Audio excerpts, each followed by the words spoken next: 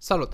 Sunt Deleanu Ștefan, sunt persoana care a realizat analiza Big Data uh, a performanței și activității Registrului Comerțului și în acest video am să clarific anumite puncte de contenție sau de neclaritate care au apărut și care uh, fie mi-au fost aduse la cunoștință sub formă de critici, uh, fie mi-a dat eu seama că poate ar fi trebuit să clarific mai mult și atunci am făcut video ăsta ca să fie foarte clar pentru toată lumea ce s-a întâmplat, cum am făcut analiza datelor, care a fost scopul articolului, pentru că am primit o acuză că aș fi făcut-o ca o formă de, uh, de răzbunare și finalmente să, uh, să discutăm deasupra datelor și să vedem ce relevă și ce presupune asta. Bun. În primul și în primul rând mi-am secționat, am făcut niște puncte ca să nu le uit că sunt foarte uh, dezordonate de fel. Sursa datelor. Un punct de neclaritate a fost de unde n-ai bai datele, că n-ai cum să le ai, că nu ai date oficiale și așa mai departe. E, datele au fost oficiale, au fost scoase din buletinul electronic al Registrului Comerțului și au fost obținute din, prin diverse mijloace. Adică, uh, uh, datele pe care am analizat uh, programul de muncă de la Registrul Comerțului, adică programul de decizii, nu programul punctual de muncă, programul de decizii al Registrului Comerțului. Uh, analiza pe uh, uh, programul de uh, amânări slash respingeri slash admitere, unde am verificat la ce oră ce rezultate sunt. Uh, rata de admisibilitate bazată pe uh, la câte zile se decide dosarul și așa mai departe. Ale le-am făcut pe API-ul de la, uh, oferit de uh, Buletinul Registrului Comerțului. Aplicația BERC, pe care o are uh, Oficiul Național al Registrului Comerțului, are funcționalități API prin care tu poți să croluiești și să vezi ce decizii s-au luat în, uh, în anumite situații. Poți să vezi motivele de amânare, poți să vezi dacă s-a dat amânare, dacă s-a admis, s-a respins, poți să vezi care sunt societățile, poți să vezi date de identificare ale societăților respective. Ai o grămadă de date dintr-o sursă oficială, dintr-o sursă în care datele respective sunt sanitizate și ai grosul informațiilor de care ai nevoie, fără să trebuiască să le obții tu indirect sau indirect prin crawling, scraping și așa mai departe. Deci, practic, noi am luat uh, informație din API-ul respectiv pentru primul set de analize, de fapt, primele două seturi de analize, adică setul de analize pe uh, uh, ratele de admisibilitate și așa mai departe după o oră, pe care le-am luat pentru Business Intelligence, ca să știm și noi cum funcționează statistica, să vedem la ce putem să ne așteptăm, să înțelegem cum funcționează registrul. Uh, eu sunt ITist, nu sunt jurist, nu am experiență cu registru, nu fac asta ca... Uh, nu, adică nu am făcut asta pentru ani de zile și atunci ca să cumulez, să rezolv neclarități pe care am, cel mai bine te uiți la date, te uiți la niște date care sunt obiective și poți să extragi acolo informații. A doua analiză pe care am făcut-o a fost o analiză pe motivele cele mai frecvente de amânare, care ulterior la mulți se transformă în motive de respingere. Cred că o cincime sau o zecime, nu mai știu exact care e statistica, depinde și de județ. Sunt anumite județe unde se amână slash se respinge mai mult, sunt altele în care oamenii sunt mai îngăduitori, sunt unele la mijloc și așa mai departe. Bun, deci am luat ca să pot să-mi dau seama de motivele de amânare cele mai frecvente, să fac o analiză uh, big data de analiza limbajului natural ca să-mi dau seama cam ce tipuri de amânări sunt pe ce tipuri de motive și ca să-mi dau seama cam cum pot să le previn în fluxul meu, adică cum pot eu când își fac străinii firmă prin noi sau când își fac românii, urmează să ne extindem pe români, cum își fac românii firmă prin noi, în formularul pe care ei l-au la noi pe site să le apară dacă sunt niște greșeli, înainte să transmită documentele și să se trimită în mod automat la registrul comerțului, noi să vedem care sunt, uh, să, să le apară. Atenție, vezi că, la la la la la, la la la la, uite asta ar zice un registrator, există riscul să, ești sigur că vrei să le trimiți, ține cont că dacă greșești și după aia trebuie să le retrimitem, te costă 20 de euro amendă amendă comercială. Și oamenii în momentul respectiv se uită corect, corectează informații, nu mai pun că ei sunt uh, din uh, țara uh, China, oraș uh, Bulgaria și așa mai departe, chestii care s-au întâmplat uh, cu noi. Și atunci, ca să rezolvăm problemele astea, bagi o incentivă uh, financiară ca omul să-și verifice să nu vrea să dea 20 de euro, chiar dacă are mulți bani, n-a să-i vrea să-i dea dacă a decis să lucreze prin tine, care este o platformă automatizată și uh, în plus să, practic, poți să previi foarte multe motive de amânare și să-ți iei admis din prima. Asta ajută pe toată lumea, toată lumea e fericită, omul nu mai are, registratorul știe că vin corecte și na, se uită în Z, vede că e corect și la revedere nu mai trebuie să scrie motive de amânare, în timp ce uh, beneficiarul, practic, uh, persoana care își face firma știe că e admis din prima, nu mai așteaptă mm, să se rezolve amânările și așa mai departe și noi știm cum să rezolvăm și să prevenim problemele prin fluxul pe care îl alegem, prin modul în care completăm documentele și așa mai departe. Și atunci am făcut analiza asta. Bun, deci astea au fost primele două analize. Am până acum din ambele analize, rezultatele au fost bune, adică nu știu de ce sunt critici, cu mici excepții, care reprezintă vreo 3% din cereri, majoritatea cererilor erau admise bine, erau corecte, rezultatele chiar au fost foarte bune. Și uh, și asta a relevat și articolul din prima, deci nu îl modific acum ca să-mi schimb cumva percepția asupra lui. Articolul a relevat că oamenii muncesc peste program, că muncesc foarte mult, că sunt muncitori, că sunt realizate toate chestiile, aproape toate în termen. Deci toate informațiile au relevat că lucrurile merg bine. Și asta am și explicat prin articol, am spus că lucrurile sunt bune, se poate și mai bine, da, uite că sunt bune deja, comparativ cu alte instituții publice, jos căciula, asta a fost ce am spus public în articol, nu am modificat nimic de atunci, asta a rămas.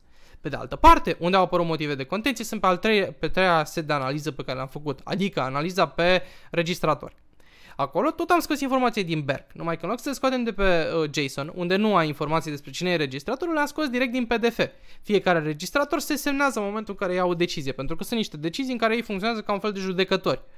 Um, Însă, uite, de exemplu, conform CEDO, uh, Registrul Comerțului, precum și cam orice instituție care face o, o formă de analiză a situației de fapt și de drept, este o formă de tribunal chiar dacă nu este în sensul uh, practicii în România. De aceea avem, de altfel, în, în legea din dou, uh, 265 pe 2022, protecția pe care o au registratorii să nu fie supuși uh, uh, constrângere și așa mai departe. Exact ca să-i protejeze, pentru că uh, legiuitorul își dă seama că ei iau niște decizii destul de serioase care presupun interpretarea unei legi și pot să fie constrânși. Atunci le oferă niște protecții. Nu sunt aceleași ca la un judecător, dar există. Bun. Huh. Pornind de la informațiile astea, hai să merg mai departe uh, cu uh, motivul publicării. Ah, da, stai să clarific aici care au fost problemele și să cu, cu registratorii și cu numele lor.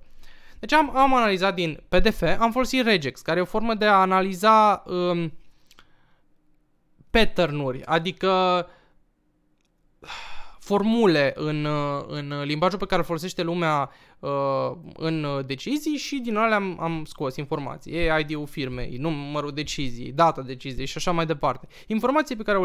A, numele registratorului, data.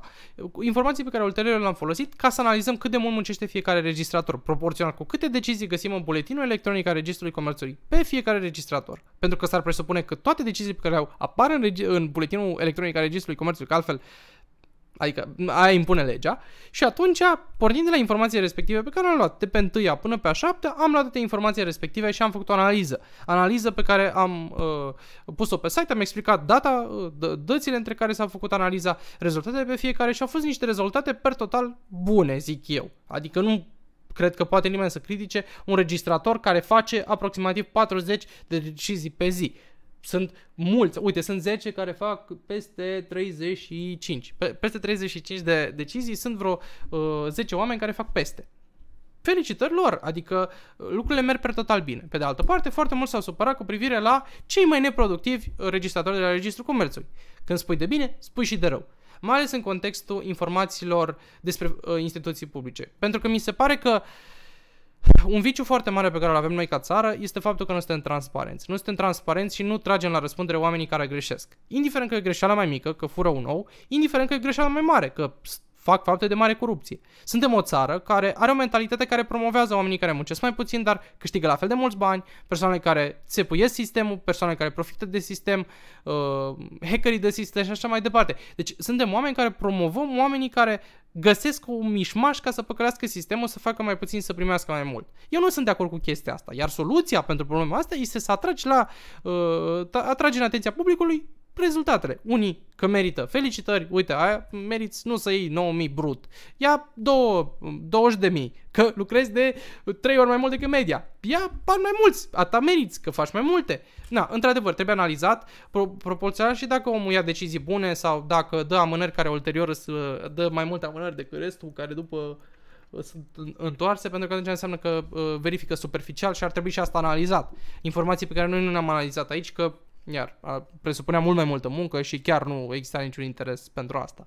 Uh, dar chiar și din informațiile astea, rezultatele sunt pe total bune, iar cei care nu au muncit și au, scris, au soluționat mai puține dosare pe, în, în perioada asta, au, au făcut-o din culpa lor, nu din culpa noastră. Și e foarte bine că se publică și e public cine muncește mai mult și mai puțin. Pentru că ar trebui să fie plătiți proporțional cu munca pe care o fac. Aici, o problemă care a fost atrasă, la care ne-a fost atrasă atenția, a fost faptul că erau anumite persoane la care numele, numele era greșit, în sensul în care uh, erau mai multe ocurențe a acelui, aceluiași nume. Problema era că erau permutări. Anumiți registratori puneau în anumită parte diacritică, uitau după să le pună, după aia învârteau numele, după aia nu mai puneau uh, liniuța de la nume și atunci programul nu a știut să-i unească. Am reparat asta când mi s-a criticat, am să pun și critica pe ecran. Da, am făcut-o de bună credință, cât de repede am văzut că există problema. Într-adevăr, m-am grăbit să public articolul, pentru că am treabă. Dar, pe de altă parte, am făcut articolul, l-am publicat și în momentul în care mi s-a spus, ok, vezi că sunt niște mici probleme de acolo, le-am rezolvat. Iar rezultatele finale re- sunt foarte similare cu, cu informațiile care nu sunt comasate. De ce? Pentru că de obicei oamenii au cam același stil și el apărea primul și, da, într-adevăr, uh, ultima, deci ultima ca număr de soluții a crescut de la o soluție jumate la 3 soluții jumate pe zi. Deci una la 2 ore, nu una la 8 ore. Da, a crescut, într-adevăr. Deci cam asta au fost uh, modificările care au fost și critici. Ama, per total, mi se pare că din tot articolul arăt că registrul comerțului funcționează bine, că majoritatea uh, registratorilor își fac treaba și și explic care sunt sursa datelor și uh, încerc să fiu cât de transparent și să nu acuz pe nimeni că nu muncește, că nu-și face treaba, ci pur și simplu să arăt ce relevă analiza Big Data pe care am făcut-o. Analiza Big Data care de altfel eu zic că am făcut-o corect. Într-adevăr, orice analiză pe care o faci pe niște date care sunt incomplete, care sunt greșite, care nu știu ce, că mai apar erori și în buletinul electronic, că nu sunt toate puse perfect și asta e realitatea. Se mai întâmplă, dar asta este rațional și există peste tot o marjă de risc de plus minus 5%, plus minus 10% și așa mai departe, pentru că sunt erori în sursa de date pe care o folosești, pardon. Dar oricum din informații relevă niște informații bune, că oamenii muncesc multicel și nu cred că diferențele de realitate sunt atât de mari pe cât lumea se așteaptă. Singura chestie care cred că nu-și dă seama lumea e că eu nu am verificat numărul de amânări ca să le pun și aici. Adică ți-am verificat dosarul după admitere sau respingere. Dacă ai luat o amânare și după aia au plecat dosarul la altcineva, într-adevăr ți-ai pierdut un dosar la care tu ai muncit probabil mai mult. Asta e singura excepție. Bun, Sper că am clarificat tot, sper că am calmat niște spirite supărate. Uh, da, intenția mea nu a fost să, să atac și cred că asta se vede foarte clar și din articol și din date și din modul în care abordez tema și faptul că m-am simțit să fac un videoclip când puteam foarte bine să ignor și să merg mai departe. Și cred că de la informațiile respective ar trebui să tragă niște concluzii și oamenii care să simt supărați să muncească mai mult. Sau dacă chiar e greșită informație și consideră că au fost acuzați pe nedrept, să vină și să-mi spună, vezi că e greșit acolo, vezi că e greșit acolo, de fapt lucrurile stau altfel. Uite ce s-a întâmplat acolo. Uite câte muncesc eu pe zi. Și dacă vin oamenii cu critici de genul, similar cum a venit persoana care a venit cu critica, la fel voi veni și le vor clarifica. Da, mulțumesc foarte mult și zi frumoasă!